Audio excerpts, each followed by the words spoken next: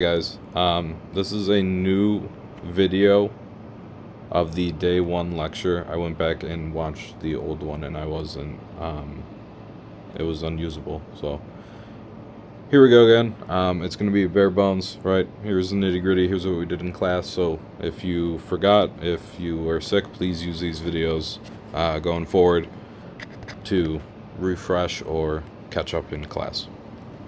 So going through what we do, I ask that when you come, or sorry, going through what we do every day in class, I won't mumble. Um, I ask that you please, when you come in, grab your computer, right, and sign in as soon as you uh, come in the door, before you sit down, even, or just drop your backpack off.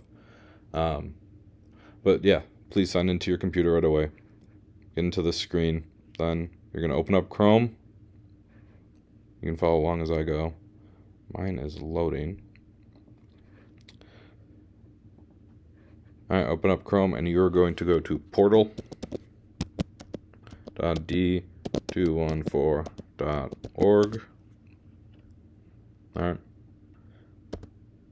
And I was just logged in, so mine might log me in automatically, but it's going to ask you to put in your email. Please put in the whole email, uh, your the part that's your name, plus at stu d214.edu or sorry .org. Edu is for colleges. Uh, at stu.d214.org all right please type that whole thing in and then it's going to ask for your password. And then it'll bring you to a screen that looks something like this. For most of you it should look something like this unless you've had like a CAD class before. If it doesn't look like this there might be a PLTW tab at the top. Uh, just click on that. So then you're going to click on Autodesk. Going to launch another window, possibly, and bring you to this screen. Again, still not in the program. Takes a, quite a while to load. It should, actually, bring you to a screen that looks like this. Let me go to a bigger window. Bring you to a screen that looks like this. Then, from, I did that kind of quick, from this screen, you're going to click on this eye right in the center. Alright, and it's going to la launch Autodesk Inventor. And it's probably going to have a timer that says two minutes until this program loads. I have this program downloaded on my computer because I don't always like to get in this way, but when I'm teaching you guys, your screens look like this. So I want my screen to look like this. This program's very powerful. It is like over 14 gigabytes, I think, when I downloaded it onto my computer, plus whatever catalogs you download with it. So it takes a, quite a while to load. That's why we can save class time if you just log in right away. In the meantime, I ask that you use your iPad as a dual display in this class. It makes it a little bit easier. Um, I'm going to load some images onto Schoology. You can pull them up. Um, under 2D drawings, it should say Unit 1 2D drawings. Um, they're labeled 1 through 5. In class, on Monday, we went only through drawing number 1. And that's what I'm going to do really quickly for you guys. So if you forget how to do that or you need help, use this video.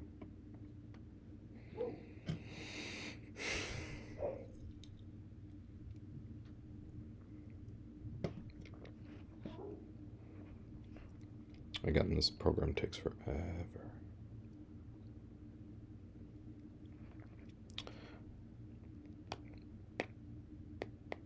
All right, here we go. So what I had you do in class the other day was link your Inventor account on the computer to your Google Drive. All right, so to do that, all you need to do is click this right here. And then up here in the corner, it will say add storage. Click on that button. You'll see the little Google Drive, yeah, Google Drive logo. Click on that. And it's going to ask at stu.d214.org. Yes, click on that. Don't click the at d214 one. That's for me. All right, so click on that and then sign into your account and it'll link your drive so that when you save things, you can save it to your drive and you can get it anywhere. And it, I'm finding that it's so useful. I don't have to carry a flash drive. It's like living in the future. All right, here we go.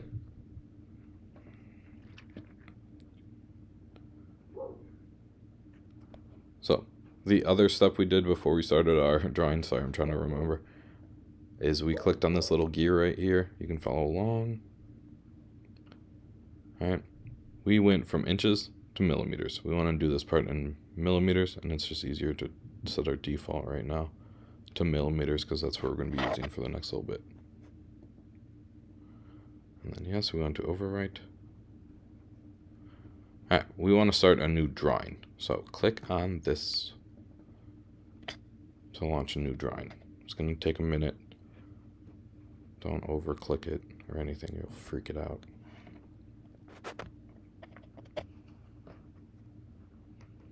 Again, I have that drawing one brought up on my iPad. In case I didn't say this, that drawing number one brought up on my iPad next to me, and I'm drawing off of that. Alright, so if I go to, real quick, if I go to Schoology, I'll show you where they are. Here's all my courses, here, here's all your grades. Alright, so here's my three CAD classes, whichever one you're in. Yeah, let's go first hour. Alright, under Unit 1, 2D drawings. Drawing number 1. And when I start my drawing, I'm going to start in kind of the top left corner of this. Oh, I've downloaded this so many times. I'm going to start right here in this drawing. I have this brought up on my iPad right next to me, so I'm drawing off of that. Alright, I'm going to start right here, and I'm going to work my way around. And I'm just going to get a rough outline before adding in my measurements and that will kind of make my shape turn into this. So it's really easy to copy. You just kind of have to have a rough idea of what you're following. So just like a boom, boom, boom, boom, and it'll be pretty easy. So back to Autodesk. The other thing we did, because this C size sheet that it gives you is so big, I'd like us to change our sheet format to A size landscape one view. All right, the second one. All right, just double click. Hit OK. I can redo that. I think I did that kind of quickly. I'll do it a little bit slower. All right. I just said undo. Oh, nope. I don't want that. I want to undo that far. All right. Just hit undo a couple times. If you ever make a mistake, it's really easy. You just undo, undo, and then you can try again. So, your screen probably looks something like this right now. Alright, so click this plus sign next to drawing resources. And then the one immediately underneath it, sheet formats, click that. And then you're going to the second one down. Really easy. Just click that and hit OK. That should work for you. Now, following my mouse, right? You can see it following my mouse. We're going to go to the sketch up here and start a sketch. This allows us to draw on this piece of paper and copy that part. So starting in that top left corner, just doing a rough outline. So I click, click again to finish the line, and then I can bring it up. Now it's telling me that this is a 90 degree. Since I don't see any measurements on this angle, I can kind of assume that it's the 90 degree. So just click that, let it click into that 90 degree and hold it there. All right, then click again to finish that line. We're bringing it over again, 90 degrees. It doesn't matter how big on the side. You see where it says 14.993 millimeters. It doesn't matter right now. Um, We'll put in our measurements later and it'll adjust our drawing to that size. So really just get the rough idea of what you're looking at. Now this line here, coming at the side, notice how this line on this side, this line right here, is 18 millimeters and we want this one to be 10 so it's shorter. I don't want this one to click in along that same line. See how it locks into place that will keep these lines equal when in reality they're unequal. So just make sure at 90 degrees and click somewhere above that line. And then continue to follow that shape. Click it again. You guys get the idea.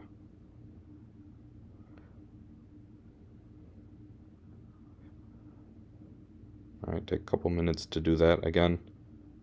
Speed these videos up, slow them down. I don't care. Skip over parts. Just get to what you need to do. Use this video how you need to use it to kind of understand what we're doing in class. Alright, so there's a rough idea of what we're looking at. Again, yours might look a little bit different. That's totally cool. For now.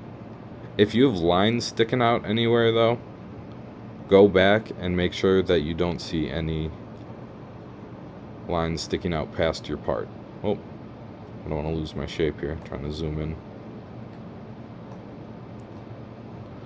Again, I'm at home. My internet is a little bit slow. And this program's pretty massive. Alright, here we go. Again, any lines that are sticking out, please go back and fix them so that you have nothing sticking out of your part, either outside or inside. Alright, if you ever want to get outside of the pen tool and like you feel like you're trapped in the pen tool, you're going to right click on your mouse, right click, right hand on the right side, and then hit OK, and then you're free to move however you want and click on other things. Alright, this dimension tool. Alright, notice how this is one of the bigger. Alright, the pen tool is pretty big, all these other ones are kind of small, they're a little bit less important. Dimension tool is massive. Alright, very important. We're going to be using dimension tool every time we do something. So, click it.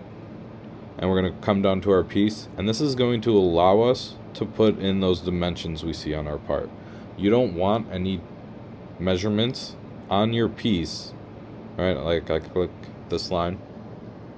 And this should be 44 millimeters. 44 millimeters. Boom. Alright, it adjusts my part to 44 millimeters.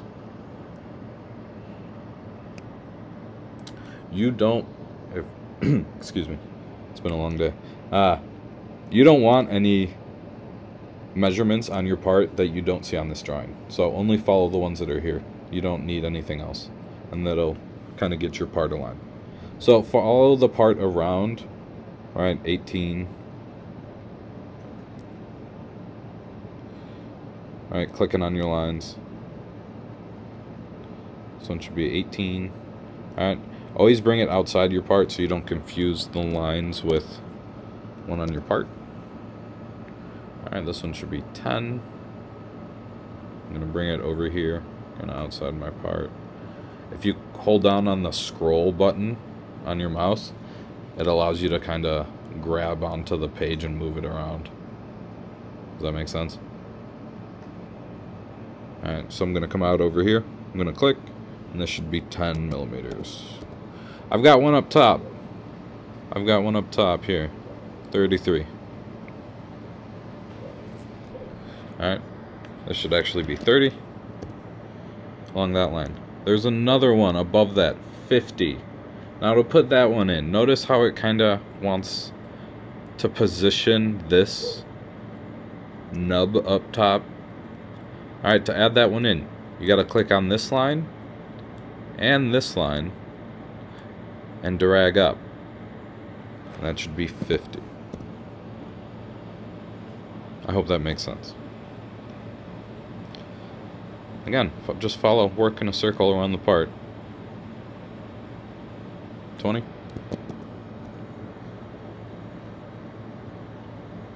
Now this, to add in a diagonal, a dimension on a diagonal kind of like that, because you'll notice if you try and click this part, it comes to the side it comes up, but you can't really ever get it to come out on a diagonal.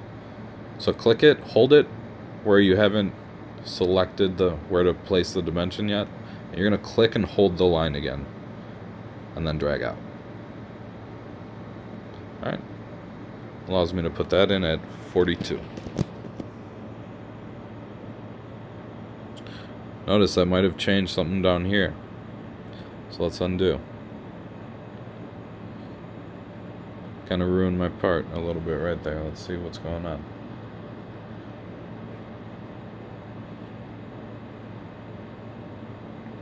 So undo.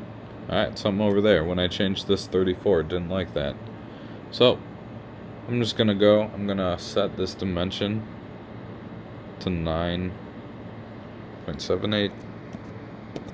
Again, this is the tricky part of the program. Sometimes, like, you're doing something and you're like, why did that ruin it? And you're like spending two hours trying to figure it out. I've done it. I did it for two years in grad school. It was awful. Alright?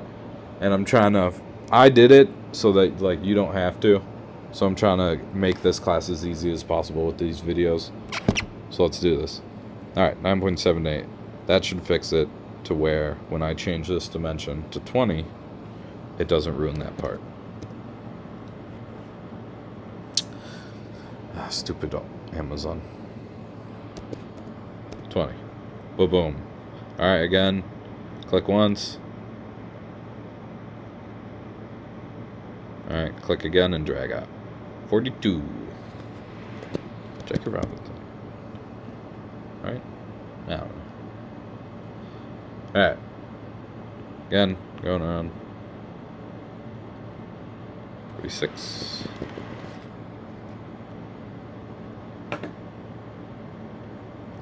Eighteen point three four.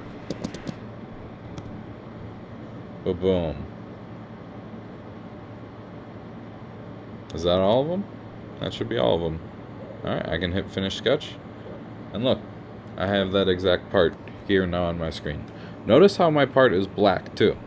If your part is still kind of purple when you hit finish sketch, something's wrong. Alright, you can zoom in on your corners and if you have lines that don't meet, you need to fix that. You need to go back and fix that because everything should meet together and be one part, right? I shouldn't be able to see any beige gaps in my part when I highlight over it. So that's what we did in class today. Drawing 2, I'm going to make another video right now and upload that too. So if you're trying to figure out drawing 2, um, I'm going to do a really quick one on that. It'll be like two minutes, so pay attention to that one. Alright, all done.